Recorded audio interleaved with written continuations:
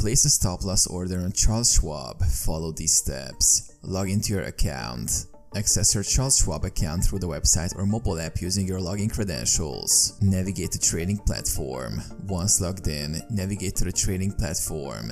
This is where you'll be able to place orders for buying and selling stocks. Select the stock. Choose a stock for which you want to set a stop loss order. Enter the stock ticker symbol in the search bar to find it. Choose order type. When you're on the order entry screen, select stop as the order type. This will allow you to set a stop price at which your order will be triggered. Set stop price. Enter the stop price at which you want your stop loss order to be triggered.